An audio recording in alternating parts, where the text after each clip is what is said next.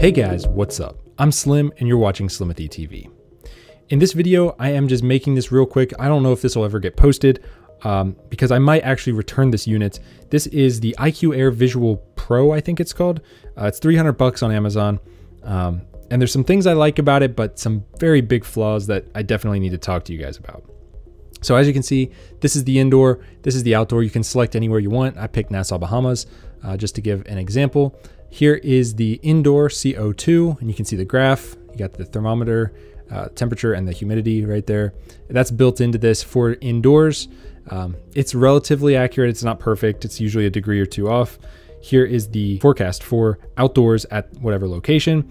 It says you know, everything's clean, everything's good. You can go outside, open windows. Battery right there, of course, it's dropping quickly. This can only last about three or four hours, I think, on a charge. So you pretty much have to keep it plugged in all the time. It's got the weather up there.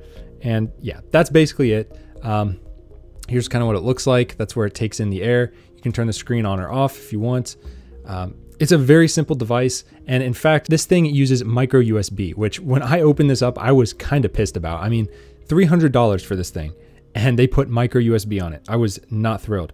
But really, what tipped me over the edge with this company was the fact that they do not reply to emails. I have emailed them with probably seven different email accounts over the past probably couple months, maybe even close to a year at this point, about collaborating with them, and then just as a normal user, like as if I was just a normal person, I just wanted to see if they would even reply if I had a question about the product, and I have not received a single response from this company. I tweeted at them, did not get anything. So I don't know what to tell you that, but the customer service for IQ Air is absolute garbage that I've experienced.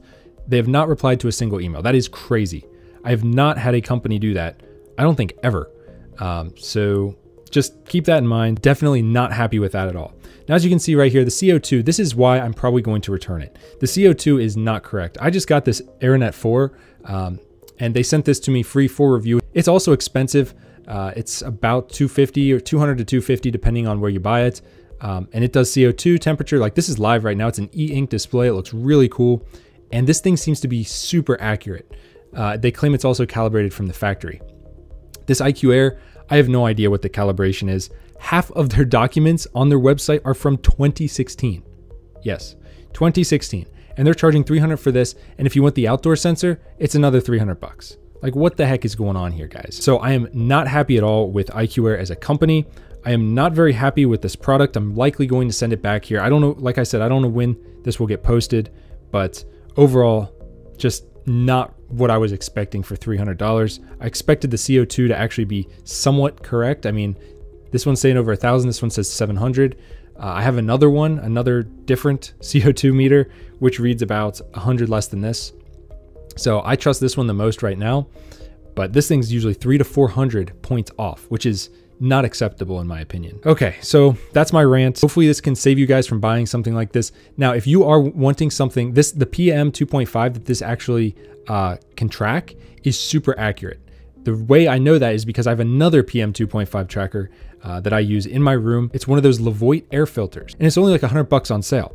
And it comes with one of those basically built in. You just use the app. And it's an air purifier too for 100 bucks. This thing is 300 bucks and it does not even purify the air. It doesn't do anything except have a little screen on here and use micro USB, which is something that should be illegal in 2023. Stay away from this product. If you want a PM 2.5 sensor, just go pick up the Levoit. I'll link it down below. It's awesome. It actually takes the particles out of the air. Uh, I was able to clean the air in my room, pretty much anywhere I put it. I think it could do up to a thousand square feet and it's a third of the price of this.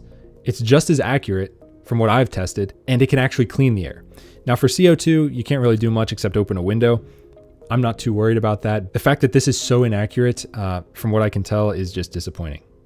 So let me know your guys' thoughts on this down below. Have you guys picked up one of these? I don't recommend it at the current time, and I'm not happy with IQ Air as a company. So that's all I got for this one, guys. If you liked the video, hit it with a big thumbs up and subscribe, and I'll see you guys in the next one.